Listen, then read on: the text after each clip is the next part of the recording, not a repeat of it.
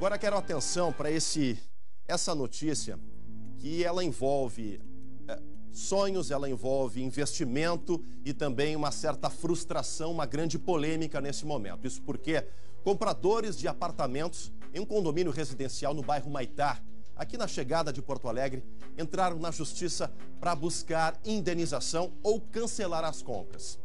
As empresas Albísia e a OAS descumpriram o prazo de entrega estabelecido no contrato, cancelaram as obras de infraestrutura que faltavam no projeto.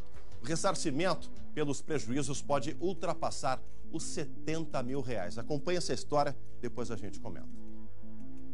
A propaganda é da realização de um sonho. Mas quatro anos se passaram desde que Sandra assinou o contrato de compra de um apartamento no condomínio Alta Vista e até hoje só o vê de longe. Havia todo um atrativo, uma promessa de shopping, de hotel, né? mais o fato de estar de frente à arena. E a gente vê passar aí mais de dois anos o imóvel está tá pronto. Uh, quando a gente imaginou que ia poder uh, ingressar no imóvel, eis que surge essa questão do habite, que está impossibilitado a verbação. Então, nós estamos aqui numa situação de total abandono. Como dá para ver, os prédios já estão prontos. Porém, das sete torres construídas, apenas duas têm o documento que permite a moradia.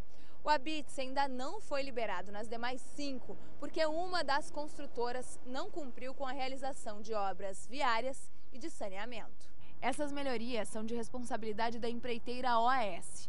Investigada pela Operação Lava Jato, está em recuperação judicial e já informou que não vai fazer as obras. O imóvel está pronto desde 2016 e a gente não está se deteriorando porque estão todos fechados. Aqui tem alagamentos, não tem segurança. Nesta semana, a incorporadora Caragones, que também participa do empreendimento, se dispôs a realizar as obras de infraestrutura necessárias.